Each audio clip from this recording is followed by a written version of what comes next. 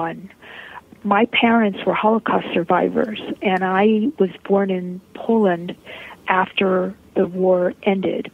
This event was going to be a gathering, uh, first time ever gathering of Holocaust survivors with their families in Jerusalem as essentially an opportunity to show the world that we not only survived, but we prospered, and to make that statement in the democratic nation of Israel. So that sounded like a very, very exciting and cool idea to me. And I got myself appointed as the Philadelphia official delegation to this event. And I organized somehow a group of 200 people to go to this event. And that actually, organizing that group and participating in that event in Jerusalem with my parents and my kids, three generations of survivors, together with so many thousands more, I believe uh, I have to say that that was the beginning of um, of my travel business. Serendipitously, there was another company in town that was going out of business, and he asked me to take over a pilgrim group that was going to Israel. And I said I would take it over and operate it for him because he was going out of business and he didn't want to let the group down. And that was my first experience as a Jewish Holocaust survivor myself. Wow my first experience with a Christian organization that was going to Israel as a pilgrimage and what that meant to them. And I found that absolutely thrilling and fascinating, and I wanted to know more. So I started looking for opportunities to speak in churches to try and bring people to Israel using my company, but explaining to them what it meant to me as a Holocaust survivor to see Christians going to Israel and, in a way, doing something very special for Israel, which meant a lot to me personally. And the business evolved that way. I spent years traveling around the country It's kind of an anomaly. Uh, usually, their pastors are the ones that are very involved in organizing Christian group travel. So here I was, a nice Jewish girl from Philadelphia, and, and my business went in that direction. But it was a wonderful direction, and having had that experience probably gave me and my husband, who's my partner in the business, the tools to be able to do the kind of work that we do today because the foundations are essentially the same. This is World Footprints Radio with Tonya and Ian Fitzpatrick, and we're talking about the healing and restorative power of travel with Friendly Planet founder Peggy Goldman. As the one who discovered Friendly Planet Travel in 2000, for 2005, uh, planning our honeymoon at the time, I was struck by the fact that Friendly Planet Travel, to me at least, offered tremendous value for the price, and I was just blown away by the richness of the itineraries and the things that were covered, and I and it just left my head scratching how you guys could do this and, and make money. Well, I love the question because if that's how you felt, then we really accomplished what we want to accomplish uh, when we build these tours. You know, working with churches as long as we did, we really became very attuned to how important it is to be very good stewards of everyone's resources, including our own. So when we built tours for pilgrims, for people going to visit Israel as pilgrims, we understood that the less they cost, the easier it would be for people to afford the experience. And we worked very hard at negotiating. And because we are a business to consumer model, there aren't a lot of layers in between us, the manufacturer, and you, the traveler, which at all that time that we were working was not actually the model in the, the classic travel industry. There were different layers of supplier and wholesaler and tour operator, and uh, so we cut to the chase. And we also, because we had learned so well about how to price in a way that would be acceptable, that would be fair, and also to ourselves, we came up with a pricing model that we are still using today. And it works really, really well for us. You recently started a nonprofit uh, foundation right. as part of Friendly Planet. Why did you create that foundation and what is your mission? Well, I had been wanting to do that for a while. We are involved in different outreach activities in various places around the world. It's a natural outcome of going and seeing need, being received so warmly by people who welcome us into their communities and do such a good job of receiving our travelers, in many cases, needing so much more than and having so much less than we have. So for us, it was a natural outgrowth of, of going and visiting and seeing. Um, we started supporting various projects. We dig wells in Cambodia. We support um, a very big project in Vietnam. We've been supporting all along Kiva, which is a micro lending organization. We've got uh, quite a nice team going there with micro lending.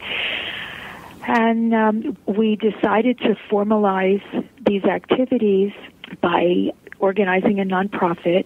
I lost my son uh, just a little over a year ago, and I decided that in his memory, I wanted to formalize these activities that we're involved in and grow them and make Friendly Planet a friendly contributor on a lot of levels where we see need. And we like very much to contribute to education of women we have found that where women are given opportunities to grow businesses, they use the resources, they use the money that they earn to feed and educate their children. And especially in third world communities, it's very important that women who are cut off from uh, other avenues be taught how to do things like sew and make jewelry and do things that they're able to use in supporting themselves and their families. We also care a lot about children and we care a lot about the environment. So we have projects that have to do with clean water. We supply lots of mosquito netting and we do all kinds of things that we can see the results of with our own eyes. So we're not really involved so much with big NGOs and big organizations. We like to work with small groups, kind of the way churches do when they have missions abroad mm-hmm. and they mm-hmm. send groups of people to a community to say help build a, a church or put a roof on a school. So we like initiatives like that. And we hope that a portion of our profits each year will be converted into lots of good works around the world. Yes. Well, Peggy, thank you so much. I feel like Ian and I have kind of come full circle. You know, Friendly Planet was very integral to our life, the beginning of our life together, and it's just been wonderful to to share your spirit and inspiration and just kind heart with our audience. Thank you very much for joining us. Oh, it's my pleasure, and I really appreciate the opportunity. Thank you. To explore the world and plan your next adventure with Friendly Planet, visit friendlyplanet.com. We also have a link to Friendly Planet on this show page at worldfootprints.com.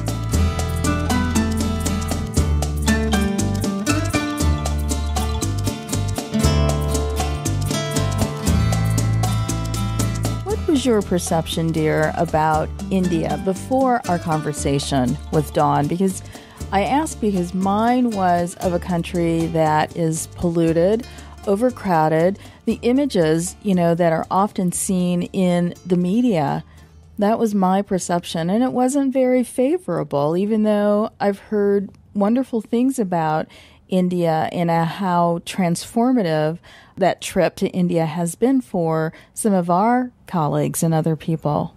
Well, it's always been a mixed bag for me. I, I think everyone is familiar with the poverty there, but also the extremes of wealth too there as well as uh, there are so many billionaires today in India uh, as well. And so you've got really pronounced extremes there with so many people living in really tough, squalid conditions.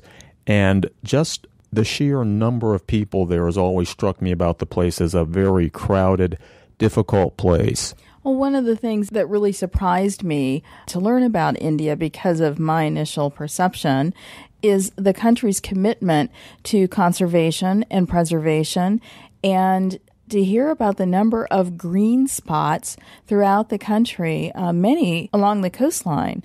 Uh, I thought that was very admirable, and certainly also their commitment to animal preservation and the environment, you know, the rainforest. I love those things about India, and those are things that we don't hear. And an area that I would love to learn more about is the, the lost cultures, uh, the Sidi people, the African influence in India, and really just see how that evolved over the years.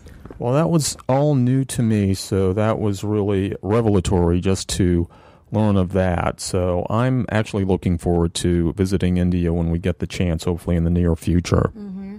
And speaking of animal conservation, we have our lovely friend Stefanie Powers. You know, she is still going strong. I, I don't know how old she is. I wouldn't dare ask, but she's on the stage. She was recently seen on Broadway and she's still working very hard on animal conservation and preservation issues with the William Holden Foundation and others. She actually was recruited as consultant for Jaguar and their foundation, which is really interesting. Jaguar, the car company, and their foundation. And, uh, and, and so it's nice to see celebrities lending their name and their talents uh, towards uh, leaving positive legacies here. And then there's Peggy Goldman with really a, a, wonderful story with Friendly Planet Travel. And as we like to tell people, that's kind of uh, how we got, got our start together with our honeymoon with their help. And I will never forget being at work in Washington in 2004. Um, I think it was November, and I was looking at a Travelzoo uh, flyer that came through, an email, and I saw this trip to South Africa, and I could not believe the price. And that. Mm started my love affair, not just with you, but with Friendly Planet Travel. well, we've kind of come full circle with, with Friendly Travel, and uh, to have Peggy on our show and hear how she started, what she went through, some of the challenges she overcame to build Friendly uh, Planet, and also, you know, to keep to keep the uh, company at its foundational mission, you know, to offer great value um, for low price. I mean, they're very competitive, and I'm looking forward to working with Peggy and Friendly Planet uh, in the near future for World Footprints. And one of those things, even as the travel business has changed, they've really made an effort to maintain those opportunities through those wide array of packages to give people a chance to travel the world. So kudos to them. And speaking of traveling the world, as we close, we'd like to ask you to think about these words from Heinrich Böll One ought to go far in order to know how far one can go. It has been a pleasure to share a bit of the world with you. We're Ian and Tonya Fitzpatrick, and we look forward to sharing our next journey with you on World Footprints Radio. World Footprints Radio with Ian and Tonya Fitzpatrick is a production of World Footprints Media, Silver Spring, Maryland. The multi award winning radio show can be heard around the globe on iHeartRadio, Stitcher, iTunes, and more. Visit worldfootprints.com for a complete list. World Footprints Radio is a leading voice in socially responsible travel. At worldfootprints.com, you'll find an archive of past broadcasts, travel news, reviews, and information you can use to deepen your travel experience. Listen, learn, and live it at worldfootprints.com.